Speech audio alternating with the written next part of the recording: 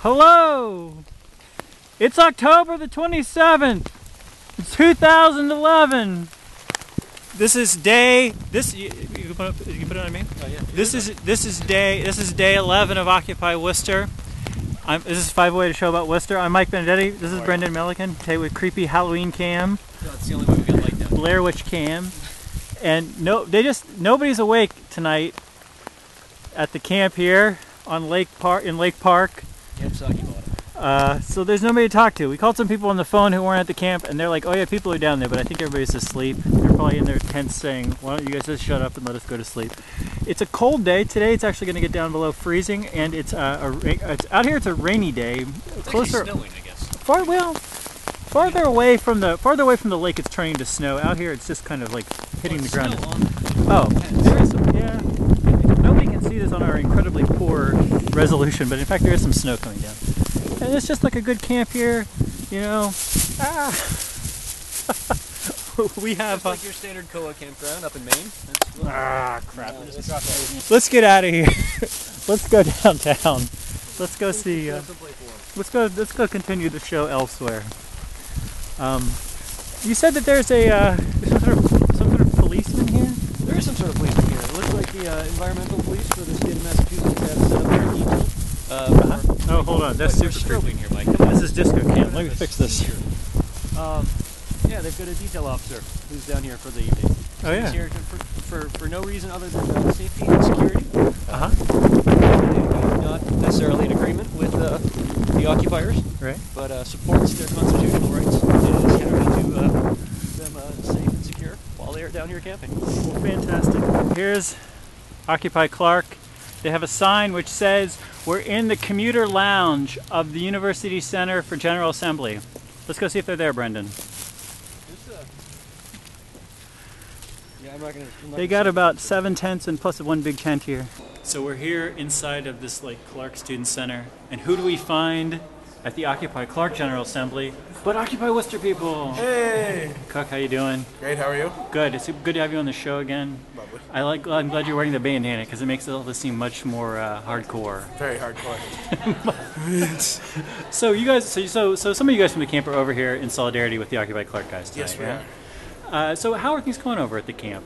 Over at camp, things Yeah. are going well. We uh, we had a brief kind of lapse in morale for a day or so. Okay. But tonight we got back on top of things. Our direct action council is in full force right now. Okay. There's a lot of gumption being passed around the camp. Okay. And uh, we are, you know, right now we are organizing, we're getting smart, Mm-hmm. and we will see you, Worcester. So there's more. Th- so, so there's new directions coming out of this. Absolutely. Because this is the question. This is the question that a lot of people who are sympathetic to Occupy Worcester Yes. ask me: is what are the, what are the people trying to accomplish by having this camp there? Well, right now we're trying to build community and solidarity within the Worcester community, Mm-hmm. uh, and that's my opinion. Uh, Okay. Of course, not the Occupy Right. Worcester's official opinion, but Right. um, we're also uh, trying to get into some community projects. Um, that's been a big part of ours. Like uh, we're doing clean up Main Street Yeah, there's initiative Saturday. Uh, this Saturday. Yeah. So uh, anyone's welcome to come on down. okay. Um, that, that's going to be really good. So that's one of our community initiatives. On a kind of larger scale, I mean, the reason I'm here Yeah. is to fight corporate greed Right. and uh, gain more representation for the working class within our own government. So I guess that's the question is is about having the camp, you know, in that place is how is that connected to fighting corporate greed? It sounds like the answer is it's building Well, from people there, together. it's a home base. All right. Uh, we have our action on November 5th. Okay. We're going to be protesting outside Bank of America, Okay. and we wouldn't have been able to organize that so quickly if it wasn't for having a home base at Lake Park. Right. So, And you guys said there was a general assembly tonight at the park, right? yes, there was. So this is this going to be more of that kind of thing? Yeah, uh, our general assemblies are uh, regularly scheduled at the park as well at the Commons now. Right. You can find that out on our website. All right. I got to ask you this question. Okay. I hear a lot of stories of people going down there and being like, when I was there, there was like a lot of like drinking or whatever. There was like a lot of rowdiness. Sure. Has this been your experience? Uh, not. I can't say that that is my whole experience. Okay. I can say that that has happened. We have it under control. It's taken care of. Yep. I'm uh, glad. I'm glad to hear that. No, we uh, we talked about a lot at GA today. Yeah. That kind of behavior is not acceptable on camp, and Okay. uh, we will be acting on that. So. All right, I'm glad to hear that. Well, there's always problems to overcome in groups. Right, and we're uh, in full communication with the environmental people as well as the police. You know, uh, right now, we're not against them. Right. That's my opinion, of course, not the Occupy. Sure, you're right. You were speaking. This man is speaking for himself. Yeah. This man, whoever he may be, is speaking for himself only. I'll just give you a hard time. Um, great. Well, uh, is there, hey, thanks for uh, thanks for coming on and representing. No problem at all. All right, man. I'll talk to you later. Brendan, do you have any questions? You don't have any questions, do you? I kind of did actually. Okay, gonna- he's gonna- throw, can Brennan how much ask you time? do we can do questions. What um general, general information for um, viewers on November fifth? What is the time frame that you folks are going to be at Bank of America? Because I actually happen to be a Bank of America customer who's looking to close their account that day, and I would like to be doing it while there is something going on there. I believe 10 o'clock. Ten o'clock in the morning. Yes, because they are not open all day on uh, Yeah, short hours on, Saturday, on yeah. Saturdays. Which Bank of America? Uh, Park Ave. The Park Avenue. Park Ave. I think, I believe the address is 250 or 266 Around Park there. Ave. Okay. Um, we're gonna be the there. Beatrix, that one? Yes, Okay. we're gonna be there, 10 o'clock or so. Uh, you can look that up on our website also. Um, yeah, so it's Big Bang Pullout Day. And this is so. This is remember, remember the fifth of November. People who are in, who are behind this whole Occupy Wall Street Yes. movement are closing bi- their accounts at big banks. These banks that get the, ba- the bailouts. These banks that are all based on corporate welfare and socializing risk. They're putting their money in credit unions or local banks or wherever. And this is a international action. Yeah. So for people who say we're not united as a movement, this is a united action that the Occupy movement is taking. This is pretty cool. This is Last pretty cool. question. Um, so we were down at the camp at the lake tonight. Uh, there was actually more tents than I thought were down there. Like, Yes. how, how many people are, Uh, roughly speaking? Uh, people? People and tents. I mean, Uh, roughly, tw- there is about 25 to 27 tents. Oh, so it's grown Uh, over the past week. Yes, we grow every day. Um, we have a rotating crew of some days it can be you know only 15, some day it can be 50. Yeah. So there's a rotating crew of people who are staying at the camp as well as just showing up generally to support the camp. Uh-huh. We've had a lot of support from the community, dropping by donations. Nice. So it's been really good in that way. and some people from the community, community coming down and stealing signs. I hear. Well, uh, there's been one member of the community uh, doing such actions. You should send him some free signs because you have a lot of them. Yeah, if we're, needs we're one- actually thinking of perhaps asking for the sign back to donate to the Historical Society because our movement will be history. Oh, you mean history like it will be over, or history like it No, will be as in we historic? will be in the books. All right, good deal. Good deal. Any other questions? Uh, just to follow up from the tents, how many do you think are down here at Clark now? Or Clark, there's about four or five, but there's planning on being about 15 people staying here maximum, maybe around 10, 15. And they t- expressed to me tonight, one member expressed to me tonight that they're part of Occupy Worcester. This isn't just about college kids, this is about all of us. So this is about multiple locations for Occupy West. yes. So- So that's what in my understanding is. So from the banks of Lake, from the banks of Cook's Pond three and a half weeks ago, to the, the banks shores of of- Lake Quinsigamond a week and a half ago, and now also in Clark. You're going, you're going citywide. We're taking over. That's awesome. Cook, thanks for talking to us. All right? Bon appetit. And now we're back outside doing our experiment with low lighting video with Matthew Laverne. Sometime of Occupy Boston, sometime of Occupy Worcester. Now down here at the Clark encampment. Matthew, how you doing? I'm all right. How are you? Good. What's your uh, what what's what's going on these days? It sounds like uh, I mean we can have late breaking news that people are trying to try, try to figure out how to hash out how to define Occupy Clark and Occupy Worcester in terms of each other or whatever. But that's not such a big deal. Um, no, I think uh, it's more of a symbiotic relationship. They both work in benefit of each other. So Good deal. I think uh, any talk about separating the two is just negative and unnecessary, personally. Yeah, there you go. There you go. And what, what's and what's been your experience of the Occupy movement in Worcester this last week? What, wh- where are things heading right now? Um, it's, it's hard to say. Um, there are a lot of very high-spirited individuals who um, they're they're sleeping in a park in the snow, which snow in October is a little bizarre to me. But you know, we live in New England. What can you Sure. expect?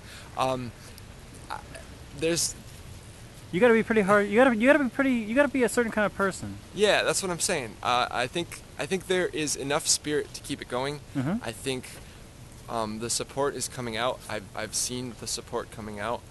Um, I think it's a matter of taking more action and making ourselves known. Um, people are being distracted by municipal laws.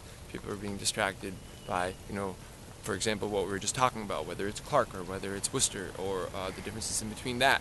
Right. And it, it really just gets in the way of moving forward in a positive direction. Um, it, it, rather than just act, people get hung up on things, which has been the issue for however long it's been going on. And that's talking on a national level with people in general. That's why we are where we're at. People Yeah. are distracted by things that they don't need to be distracted by. That's how I feel, at least. Yeah, yeah. Well, I have to say the the economy is bad enough, and the political situation is bad enough that that that draws your attention back to it. Whether to, to what you're supposed to be focused on, whether you want to or not. Yeah, you can only get involved in these little administrative things so long before you realize, like, wow, Yeah, foreclosures, no Yeah. jobs. yeah. We're supposed to be fighting bureaucracy, not creating more. Yup. Brendan, do you have any? Do you have a, do you have a question? I don't have a question. I th- would just like to point out that that sign seems incredibly appropriate now. I just noticed Yup. it a second ago. It says welcome. People can't read it. It says welcome to Clark, challenging convention, changing our world. There or challenging. There's no more. There's you know. There's no more phrase that Clark students of my acquaintance speak with more bitterness than challenging convention, changing our world. Um, anyways, but yeah, hey, there you go. Yeah. They're I- they're behind you, That's um. right? It's They have a uh, sign. we it, people don't realize they have the ability to do these things. Um, Yeah. And and it's for example the Bank of America pullout that has has been organized uh, around all of America. I was talking to a man in the park the other day, and he's been screwed over by Bank of America multiple times, and he was saying to me, I don't know what I have the ability to do myself to change this. And I said, well, we're presenting you with the option right here. Stop using Bank of America. It's as simple as that. Uh, it, and the idea is, if you get enough people to stop using them, um,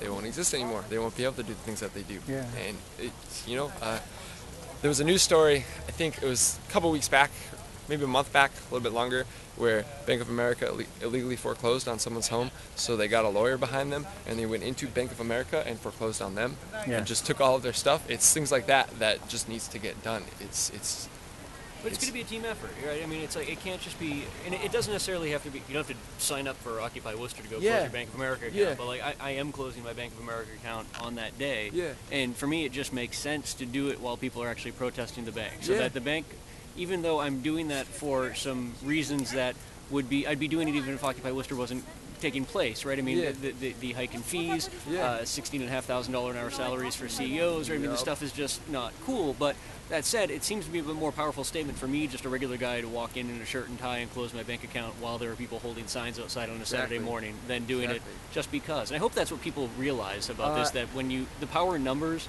even if we don't all agree and we can't figure out what we're supposed to be naming a group of tents, like there's still a lot that can be done when everyone's working together. Exactly. That's what makes this exactly. incredible. That's what I've I've been trying to push upon people is um, regardless of where you stand politically, uh, regardless of where you stand, anywhere, how you identify yourself, um, the color of your skin, the religion you study or you practice, any of those things that we have spent years and years dividing ourselves between.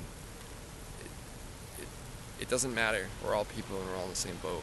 And I, I'm I'm I'm tired of seeing people be afraid of other people, and that's why I'm here, and that's why I've been here. Matthew, thanks for being on the show. Yeah. We'll let you get back to that GA. Thank you, man. Thanks, guys. All right. All right. We're- Now, Brendan, we're here to talk about other important matters, such as probably minor city politics. I don't know. Come on. into the bureaucracy. Yeah. Brendan, by the way, is standing in the snow, ladies and gentlemen. I'm, keeping it real. I I'm mean, trying to stay out of the snow because I don't want to get the camera damaged by rain. That's that's fair. Fair, Um, fair choice. all right. So what do we have this week? what do we have this week? We have. You know I have just found out, Mike? what? There's like an election in like a week and a half. There's like an election like in a week and a half. I would just like to point out before you move on to actually call call it city business that the reason that we have to point that out is because the candidates that are running for local office this year have been so abysmally, absurdly boring that like they haven't done good outreach. They haven't not good, done good outreach and good marketing. People don't even know that there's an election. Like I, I consider myself to be a pretty well engaged member of the electorate. It was an email that I got from uh, current mayor uh, Joe O'Brien yes. reminding me that the election was in two weeks. I thought we were about a month off. It was What are you What are you gonna do? Well, here. So here's the thing. So next week on this show, Mm-hmm. we're gonna tell people. We're gonna we're gonna tell you how to vote. The Worcester Magazine has this thing out, and it's like has all these details about candidates and opinions, and it's kind of funny. but, really whatever. hard. But you don't need that. You need to watch us tell you how to vote. It's we're going to do it on next week's show. Today we're only going to talk about one. We're only going to talk about the school committee actually, very briefly today. But let me talk about a couple things that are coming up. All right, so we got Occupy Worcester and Occupy Clark, day 11 of Occupy Worcester in general. We got a, hey, we got a, we got a, a Stone Soup Work Day on uh, October the 30th, Sunday, from 9 a.m. to 3 p.m. Uh, former 508 guest Sarah Acefo walking in the background. There, there, we've had Stone Soup on for years now, talking about rebuilding Stone Soup. They're actually doing it. People are going down They're cleaning up. They're preparing for the work crews to come in. That's Sunday, 5 King Street, 9 a.m. You should do it. Occupy Worcester has a General Assembly 1 p.m. on the Common on Sunday. The Occupy Worcester Main South Cleanup, they're meeting at Clark Saturday at 10 a.m. If you want to be part of something which doesn't involve protesting and just involves sort of building community and giving back, that could be a thing you could be Just involved look with. for the REI showroom floor, and you'll know you're. This is a nice. These are some nice tents. These tents have not been through 11 days of state park hell. Like They're still nice and bright. they're still nice and bright. This one's white. This one's awesome. Warning: keep heat sources away. Marty Lamb hasn't gotten back to us. Marty Lamb. Um, Marty Lamb uh, just got cut out of redistricting. I don't know if you noticed that. uh, re- oh, because his whole. What do you mean got, got cut out? Well, Marty Lamb isn't from uh, Western Mass, so if the redistricting follows the way folks are talking now, we- Yeah. you know, between uh, you know, This is the. This is the. Mar- Marty Lamb was the Republican candidate in the last congressional election who lost to Jim still have a McGovern, and home, who said he was going to be on our show and hasn't returned my most recent calls saying he's to be on the show. I'm sure he'll be on the show. Anyway, what did you say? Uh, well, I'm just saying the, the congressional districts have changed, so we won't see him again in the context of running for the Fighting Third Massachusetts congressional district. He doesn't live in our. He won't. He won't be living in our, where He we are. not. Well, that's it. The Barford may never be on 508. You're off the hook. This is what you're telling me. You're All off the hook. fine. Marty Lamb retired. We're gonna we're gonna put a check mark next to that one. This university, Clark University, it this was just recently named the 28th best value in private colleges by uh, Kiplinger's Personal Finance magazine. Good job, Clark. My uh, Challenging convention. There you go. What uh? My, my, my alma mater, Caltech, actually was number three, Oh. right after uh, Princeton and Yale, which is kind of awesome because I never realized I was work- that I was never realized that Wait, amongst other things I was getting a bargain. Yeah, I never realized I was getting a and bar- Yale? Were- were Princeton and? Yale, Princeton, Yale, and Caltech, more bargains than Clark. I don't know. That doesn't make any sense. Maybe because Harvard is too expensive for what you get. They throw off the curve. I don't know. There you go. And Clark, apparently, you know, I want to say actually, we never talk. We talk about the higher education bubble on this show. Mhm. We have. Have, uh, I- think. We, I I'm just think about. I feel like there's a lot of Occupy talk around student loans and the fact Yeah. that like, at this point, student loans I think are actually one of the more expensive interest loans that you can get in this Right. country. Um, considering interest rates are essentially zero right now. Right. Um, and students pay whatever five seven percent. Great about the whole thing, if you're focused on a bubble, I mean, what the Hold on, president got just water on the lens. what the president just I thought that was on my face. Um, what the president just came out with two days ago, or if you're watching the show, probably last week, uh, in regards to making it easier for students to access loans, seems to be missing the point entirely. It's like we're going to give you more loans. We're not going to address the fact that folks can't handle the debt that they're saddled with now by virtue of wanting to go to school.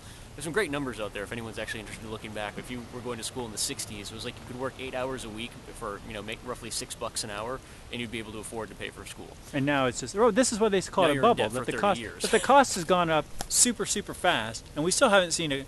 And that it's that's the argument is that eventually you're going to see this collapse when people say like it's not worth it from any point of view, or it's, it's not worth it from most points of view to get a bachelor's degree in this country financially. Some point the, the argument is that at some point people will say this, and then suddenly and Boom, be, up tuition being just saddled with that kind of debt at, at loan shark interest rates. Yeah. Anyways, yeah, exactly. That you have to you have to borrow to do it, and you have to borrow, and it's expensive. Anyway, I just bring this up because I feel like I know I don't hear too many Occupy people talk about, you know, whatever.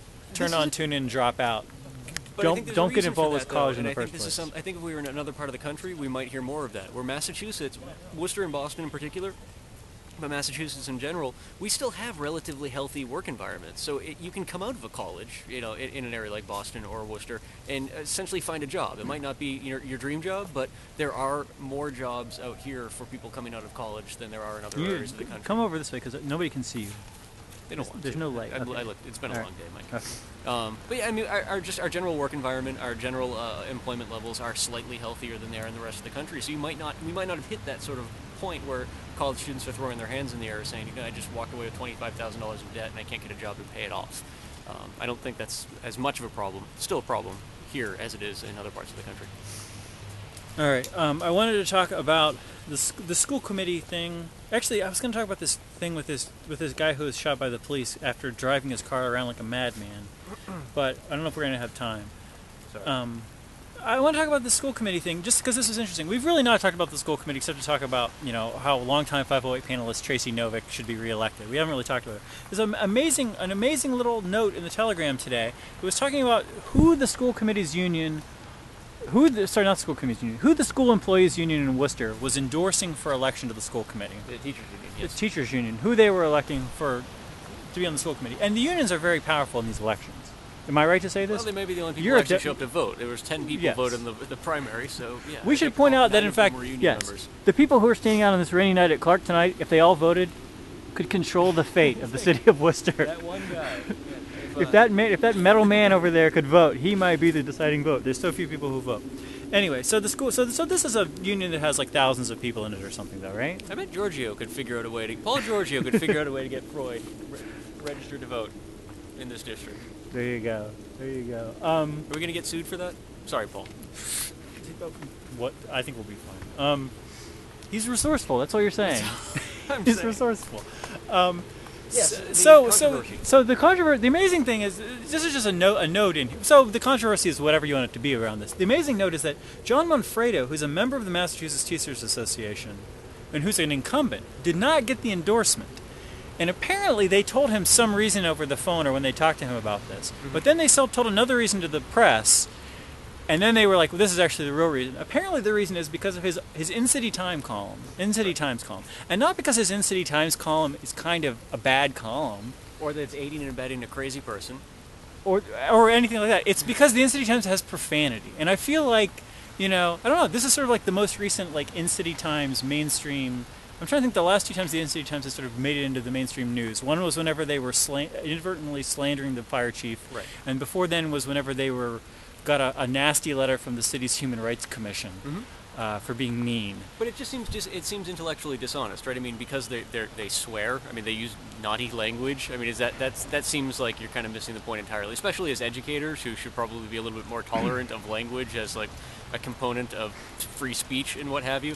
Uh, you know, it, it seems to miss the point entirely that the newspaper. Uh, is just an, an awful uh, entity that just seems to do have no, serve no purpose other than to attack folks and just be Well, generally mean spirited. I would say there's a it's a mixed bag. It's a really mixed bag because there's people for the In City Times who know what they're talking about and are awesome, and there's people for the In City Times, you know who we mean, who don't do who don't do research, who are completely factually inaccurate, who are just mean spirited and angry, and I guess use profanity. I don't know. It's anyway. It's weird that there's the. I mean, it's literally guilt by association. It's literally you write for a newspaper that also has swears in it. Yeah, but I mean, I, Therefore, a lot we're of not gonna people, endorse myself you? included, who've been trying to get people to, to, to disassociate themselves with, uh, you know, In City Times for quite some time, and say that is a reason not to support somebody's candidacy is because they're involved with that that publication. because of because of all it the to trouble. with the language. I Well, mean, I'm, anyway. I'm the only reason you have to use the dumb button on this show. I wouldn't.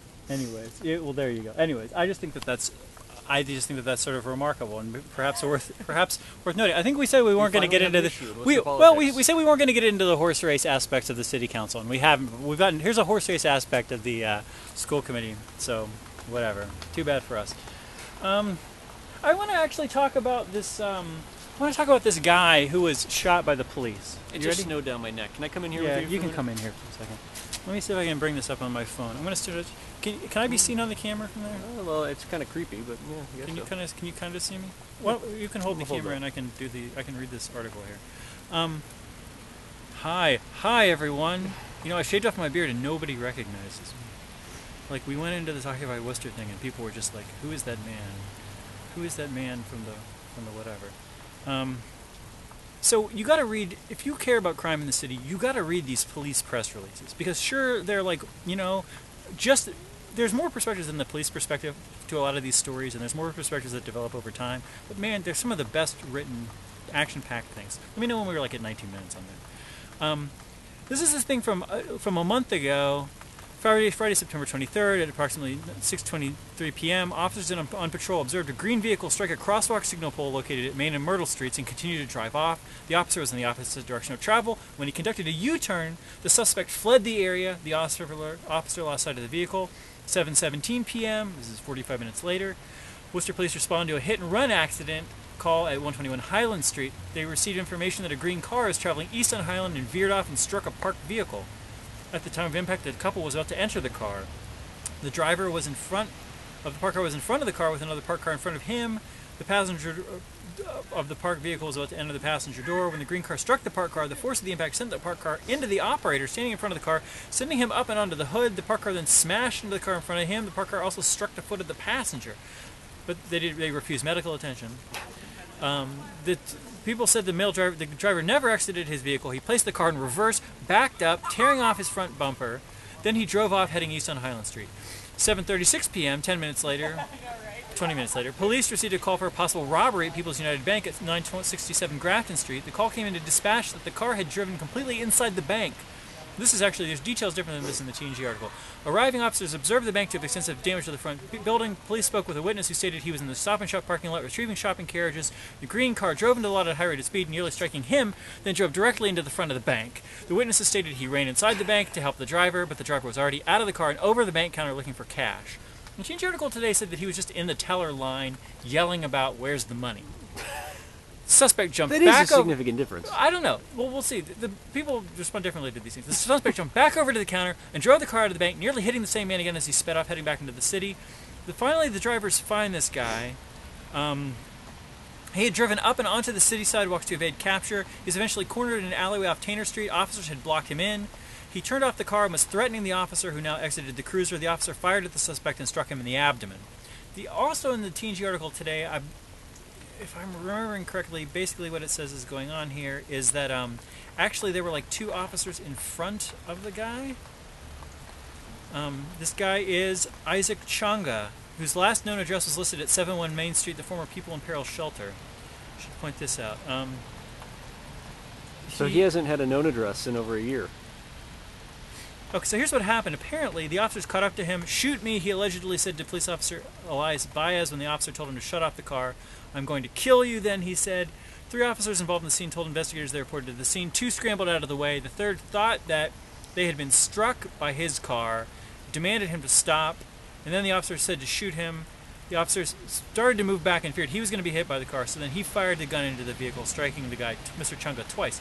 Interesting to me that uh, not only is this an incredible thing and really sad because the guy is obviously mentally ill doing all this stuff, and it's sad that all this chaos comes out of that. Also, kind of interesting that he lists his address as being at the PIP, which has been closed for a year. Because when the PIP was open, there were constantly people saying all these criminals were staying at the PIP, and other people were saying, no, no, no, they just say they're staying at the PIP because they were staying there at one point, and they're not there staying there anymore. This is a perfect example of this. A year after the fact, people still listing 701. If you get arrested in the city of Worcester, maybe as a sign of solidarity with, or just a sign of just a sign of nostalgia, you should list your address as being 701 Main. How All much the, time all the cool have left? criminals are doing it. We're down to 20 seconds. We're down to 20 seconds. All right, Brendan Milliken, thank you for being on the show. Thank you for having me. Mike check. Mic check. This has been 508. This has been 508. We'll talk to you all next week. We'll talk to you all next week. Bye bye.